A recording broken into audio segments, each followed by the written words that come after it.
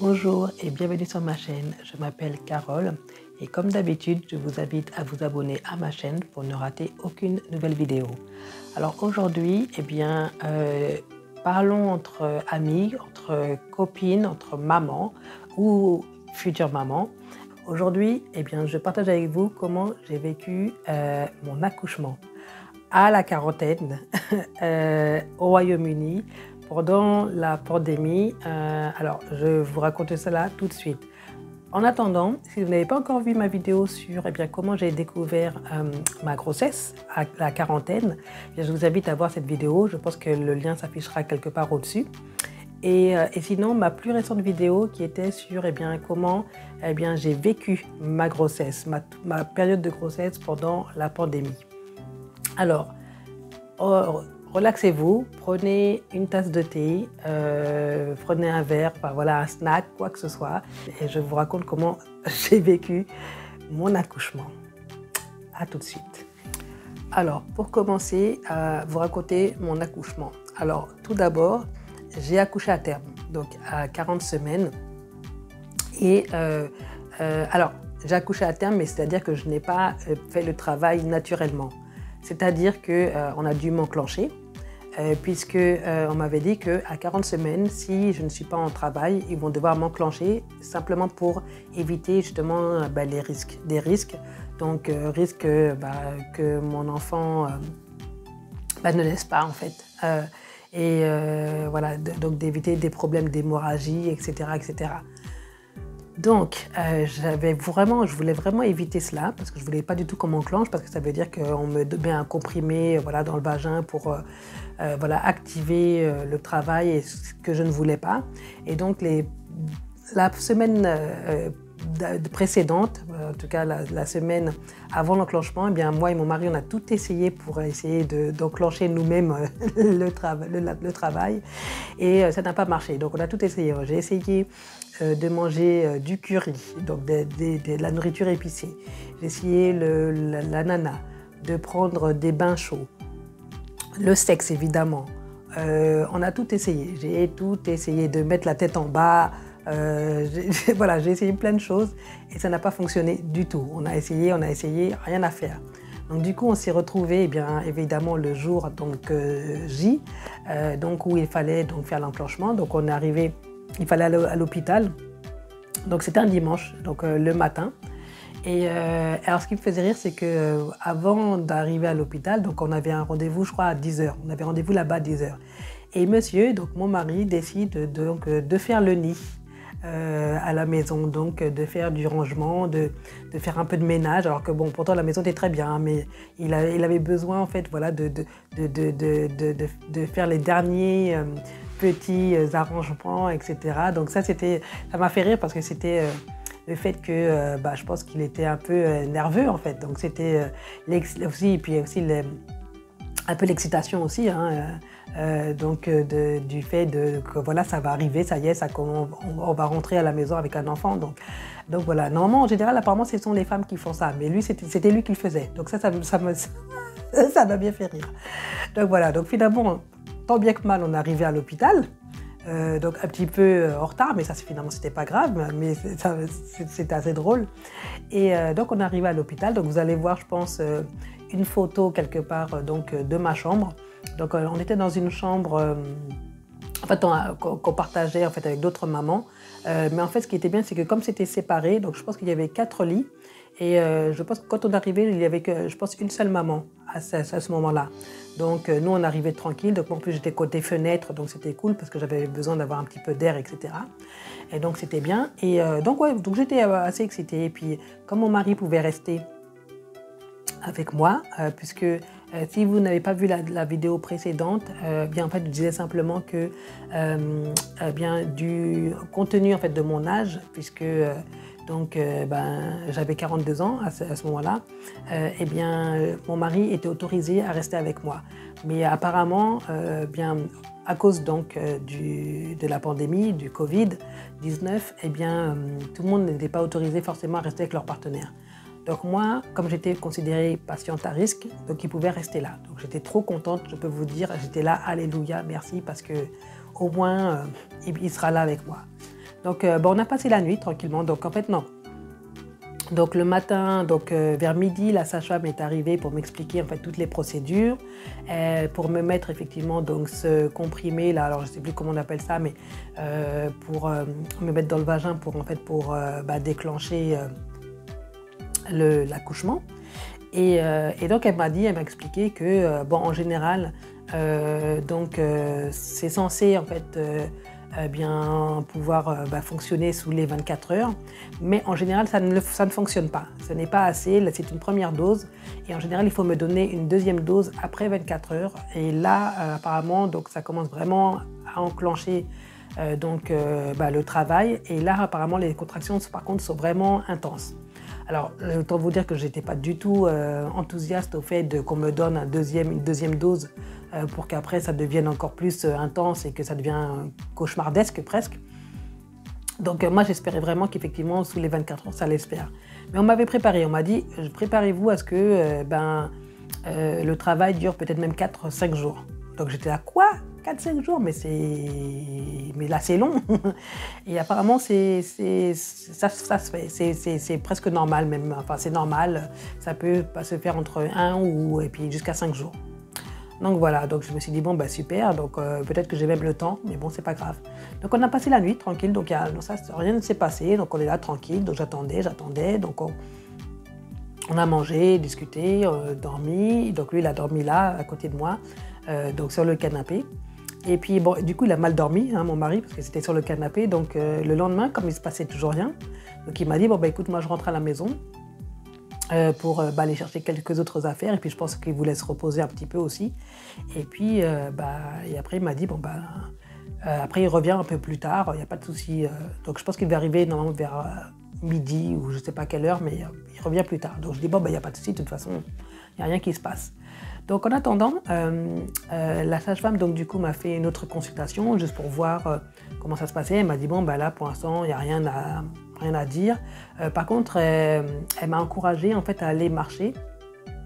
Donc aller faire une petite promenade dans le jardin de l'hôpital euh, en me disant que justement peut-être que ça justement allait aider à enclencher peut-être le, le, ben, le médicament, enfin voilà, activer les choses. Donc j'étais dit, bon d'accord, pas de problème. Donc moi, comme j'étais tranquille, je me suis dit, bon ben voilà, euh, je crois que j'ai mangé. Donc j'ai pris mon, j'ai mangé parce que c'était super tôt, je crois à 11h, on m'avait donné mon repas déjà. Et puis après, ben, je suis partie me, promener. Donc je dis, bon voilà, tranquille. Donc je vais dans le jardin et puis je discute avec ma mère, ma soeur. Et puis, euh, bon, ben voilà, tout se passe bien. Donc, je leur raconte un petit peu comment ça se passe. Voilà, j'étais super excitée. Elles aussi, elles étaient excitées. Donc, on discute. Et puis, tout d'un coup, euh, eh bien, je commence à avoir des contractions.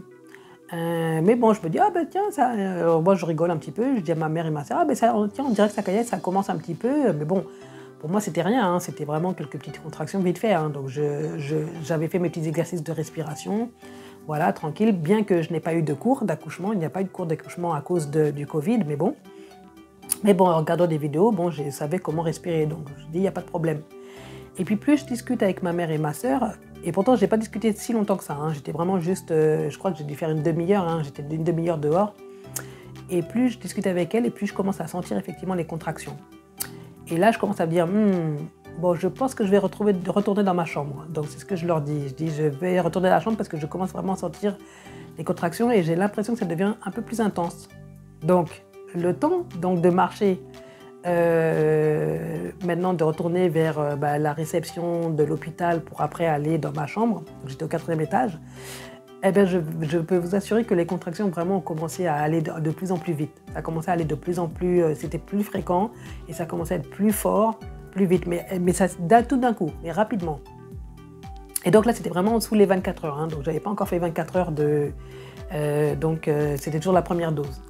Euh, et, là, les gens, même quand je commence à essayer de marcher, parce que j'étais obligée de m'arrêter pour respirer, euh, et puis après de, continuer à marcher, de m'arrêter, parce que là, ça commence à devenir de plus en plus intense. Et il y a des gens qui commençaient à m'arrêter en me disant, mais madame, est-ce que vous allez bien euh, Vous avez besoin d'aide, etc. Et je dis, non, non, vous en faites pas. Moi, je rigole, hein. je dis, non, vous en faites pas. Je, je vais dans ma salle, dans ma chambre, je suis déjà admise, donc ne vous inquiétez pas, etc. Et puis, il y a aussi des médecins qui m'arrêtaient en me disant, madame, mais j'ai l'impression que vous êtes en au travail, est-ce que vous avez besoin d'aide Est-ce que vous voulez qu'on vous accompagne? Et puis je dis non, non, non, ça va, vous inquiétez pas, ça va, je vais juste dans ma chambre, pas de problème. Mais j'avoue que je suis allée assez vite. J'y suis allée vite parce que je commençais vraiment à sortir, euh, euh, comme je dis, les, contractions. Hein. Donc, euh, donc voilà, donc j'arrive dans ma chambre. Et puis bah, moi j'étais à l'avance, hein. donc normalement j'étais censée avoir ma, consultation à midi pour voir si effectivement la première dose fonctionne ou pas. Et là, la, la sage-femme est arrivée avant, elle arrivait à peu près même 20 minutes avant. Hein. Et puis comme bah, j'étais déjà là, elle me dit, bon, ben, puisque je suis déjà là, je viens de voir une autre patiente, ben, je vais vous consulter vous. Donc je dis, bon, ben, d'accord, pas de souci. Et là, elle commence à regarder sur euh, l'écran, hein, parce qu'effectivement, elle m'avait mis les, euh, comment dire, les, euh, je sais pas, les patchs là, les, comment dire, les, c'est un peu comme des des, des, ventouses là, enfin sur le ventre pour pouvoir voir sur l'écran. Et puis elle commence et puis là je vois qu'elle commence à dire, hmm, il y a, elle, me dit, euh, oh, c'est bizarre ce qui se passe sur l'écran. Écoutez, attendez, j'arrive, euh, je reviens, je vais voir une collègue. Et parce qu'elle me dit, ah mais là vous, vous avez quand même des fortes contractions. Elle me dit, mais là c'est quand même euh, assez intense. Et puis je dis, bah oui, là je, sens vraiment des contractions. Et elle me dit, euh, elle me dit, mais là, j'ai l'impression que le cœur du bébé. Euh, hmm. Elle dit, bon, attendez, je, vais voir ma, collègue. Donc, elle va chercher sa collègue. Sa collègue qui, au début, qui dit, bon, ok, bon, attendons un petit peu, on va voir un petit peu plus longtemps, on attend encore quelques minutes pour voir ce qui se passe. Et donc, elle repart. Et puis finalement, deux minutes plus tard, elle revient et elle dit, hmm, non. et puis elle dit à sa collègue, enfin, la sage-femme qui, me voyait, qui, me dit, non, je pense que oui, tu as raison, enfin, je ne sais pas de quoi elle parlait, effectivement. Donc, euh, ben, la sage me dit, écoutez, euh, Carole, hum, parce que euh, je, pense que ce qu'on va faire, c'est qu'on va vous envoyer directement en salle d'accouchement. Je vous, emmène là tout de suite maintenant. et puis je dis, ah bon, mais... et puis je dis, attendez, ben, donc du coup, je vais ranger mes affaires. Elle dit, non, non, dit, non, non, vous inquiétez pas pour vos affaires. je vous quand votre mari revient, je lui dirai d'aller chercher vos affaires et puis qu'il nous rejoigne directement à la, salle d'accouchement. là, je vous emmène tout de suite. Elle dit, mais bon, ne vous inquiétez pas, hein, il n'y a rien de... Euh, non, non, il n'y a, rien de. Il n'y a pas de quoi s'inquiéter, mais c'est juste pour s'assurer. Elle me dit ça, mais je, vois bien qu'elle essaie de me rassurer en fait. Et là, je me dis, mais quand même, là, comme ça, là, tout de suite, euh, bon, euh, d'accord. Et effectivement, je commence à sentir de plus en plus, c'était de plus en plus intense en fait. Et du coup, elle me donne en fait une sorte de gaz là, donc le, tube à gaz là pour, pour respirer. Et, elle m'emmène, elle m'emmène, elle me met sur la, une chaise roulante et puis elle m'emmène directement en salle. Et là, je commence à me dire, là, moi, je, je commence un petit peu quand même un, petit peu à me faire du souci parce que je me commence à me dire, mais euh, là, comme ça, tout de suite, et puis je dis, mais attendez, je peux, je peux appeler mon mari. Elle dit, si, si, appelez-le, appelez-le, appelez-le, dites-lui de venir, euh, de venir quoi, euh, au plus vite. Donc j'appelle mon mari et puis je dis, écoute, il faut que tu viennes tout de suite là parce que là, on me dit qu'on m'emmène en salle d'accouchement, je ne comprends pas. Apparemment, tout d'un coup, enfin voilà, tout se passe c'est soudain, quoi. Donc, euh, je dis, bon, il faut que tu viennes tout de suite. Et puis, il me dit, t'inquiète pas, là, je suis dans, le taxi, donc je devrais être là dans 10 minutes, 10-15 minutes. Je dis, écoute, viens tout de suite, et, puis au plus vite. Et puis, je pense qu'il a dû courir, hein. je pense qu'il a dû courir, sérieusement. Et on me met dans la salle d'accouchement, et puis là, tout d'un coup, je vois un médecin qui arrive, un autre médecin qui arrive, un autre médecin qui arrive. Euh, et à chaque fois, il se présentait, à chaque fois, on me disait que bonjour Carole, je m'appelle telle personne, je suis telle personne. Donc au début, c'était je suis sage-femme. Après, je suis, euh, je ne sais pas quel spécialiste de je ne sais pas quoi. Après, je suis docteur. Après, je suis consultant, euh, je ne sais pas quoi, obstétricien ou je ne sais pas quoi. Enfin, et, en fait, là, je commençais vraiment à m'inquiéter parce que je voyais de plus en plus de personnes venir. Au point où, en fait, quand mon mari est arrivé, ils étaient, je crois, six personnes, hein. six, six, six, médecins dans la salle.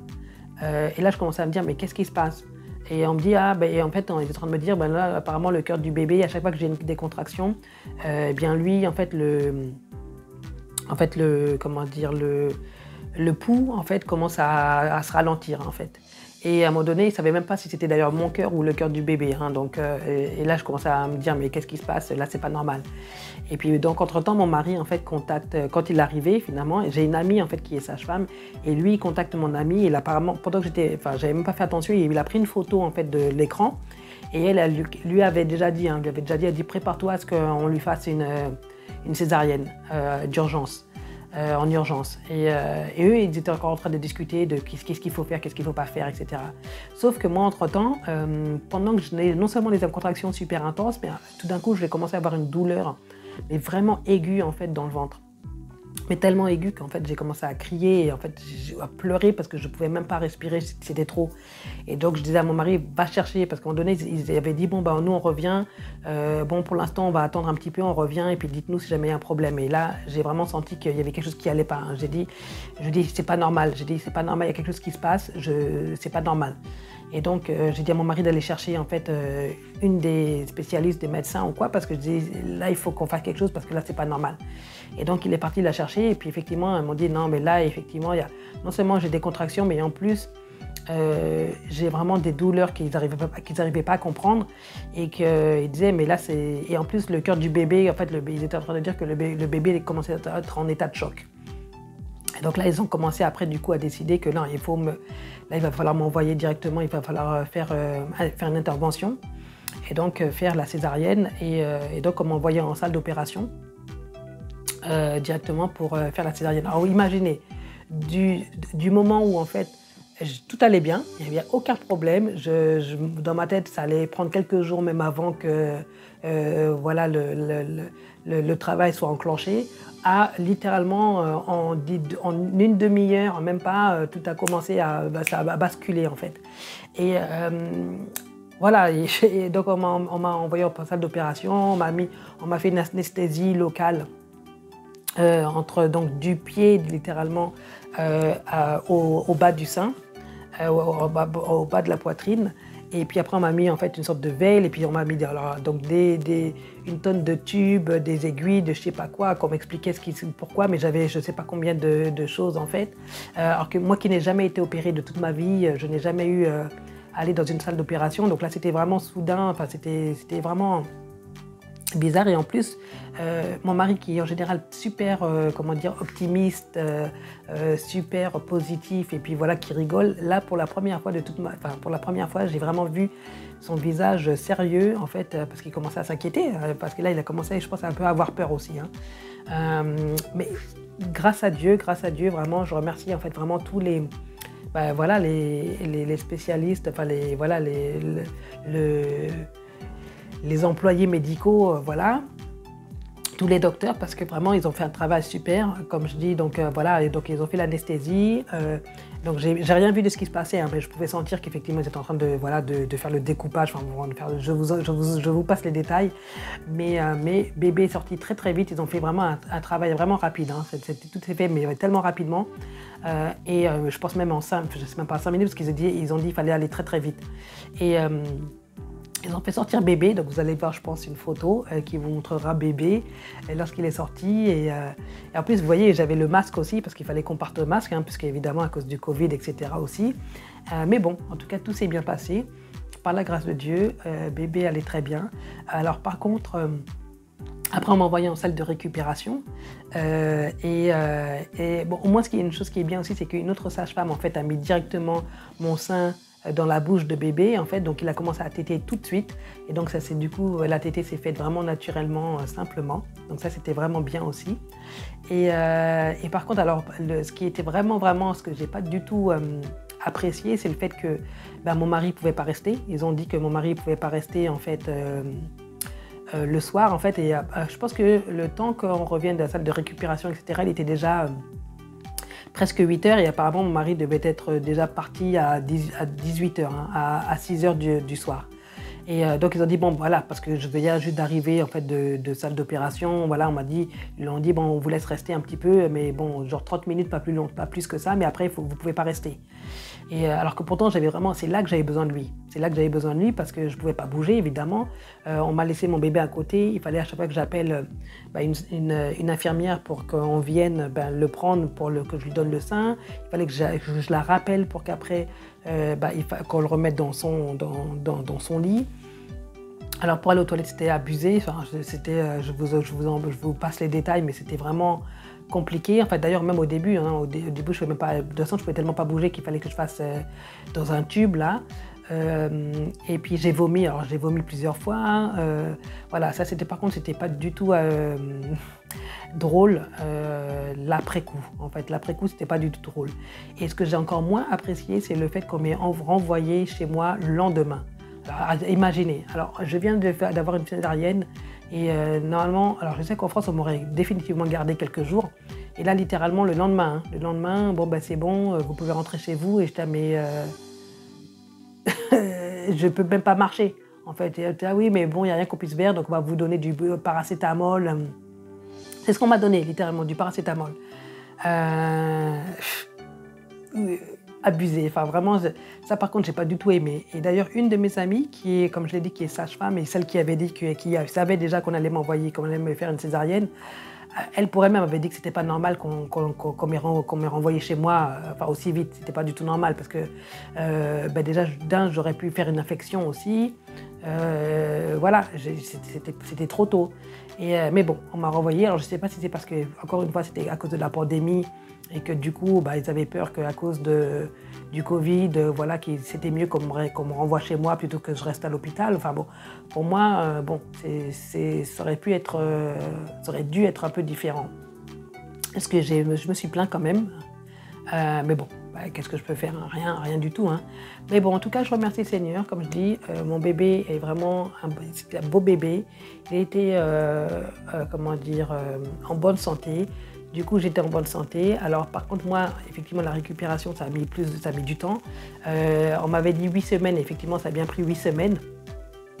Donc, deux mois pour que je puisse, euh, ben voilà, être euh, plus ou moins, pouvoir fonctionner, enfin, marcher et m'occuper de mon bébé normalement. ça a pris bien trois semaines avant que je puisse même sortir du lit, que je puisse, comment dire, ben, commencer à marcher. Euh, donc voilà, donc ça c'était bon, par contre compliqué. Mais après, je suppose que bon, pour toutes les femmes qui sans doute ont une césarienne, c'est peut-être euh, le même procédé, c'est peut-être la même chose. Hein. donc, euh, donc voilà. Mais j'avoue que c'était ça. Par contre, émotionnellement, mentalement, c'était quand même assez difficile. mais bon, mon mari était là pour me soutenir. Il a vraiment, voilà, il était en congé, donc il était là pour s'occuper de, de, mon garçon, de, de, enfin, de notre garçon, de bébé. Donc ça, c'était vraiment un bon soutien aussi. Euh, mais bon, voilà. Et après, ce qui était bien aussi, c'est que, euh, par contre, c'est que littéralement, presque, j'ai l'impression que tous les jours, euh, j'avais des sages-femmes qui venaient me voir, par contre, à la maison pour voir comment j'allais. Donc ça, par contre, j'avoue que le suivi, après, le suivi à la maison, en tout cas, était vraiment bien. j'ai vraiment eu des gens qui sont venus pour voir comment j'allais, pour voilà, voir comment j'allais. Si j'avais des questions, je pouvais appeler le numéro. et voilà, j'ai eu beaucoup, beaucoup de visites. Euh, de, voilà, de santé. Euh. Et ça, par contre, ça, c'était vraiment bien. Ça, bah, j'avoue que à ce niveau-là, j'ai été bien suivie. Et, avant, même après, même, on va dire de me, euh, comment dire, de me, comment dire, de me laisser maintenant me débrouiller toute seule. Eh bien, voilà, ils ont bien, ils se sont assurés que voilà, j'étais à l'aise aussi pour pouvoir bah, continuer toute seule. Donc ça, c'était bien. Donc, donc voilà, bon, ça, c'était un petit peu mon, mon parcours, je dirais de la, comment dire, de la découverte de ma grossesse à l'accouchement. Et, euh, puis voilà, ben maintenant je suis maman, donc mon garçon a un an.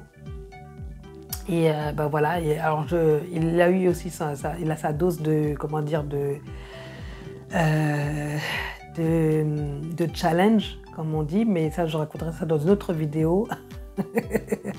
Encore une fois, mais, mais sinon tout va bien. En tout cas, il va bien, on va tous bien et, et voilà, je, suis contente. Donc euh, n'hésitez pas si vous avez des questions, des commentaires, ben, mettez-les comme d'habitude dans les commentaires en bas. Et moi, eh bien, je vous dis à très bientôt pour une nouvelle vidéo.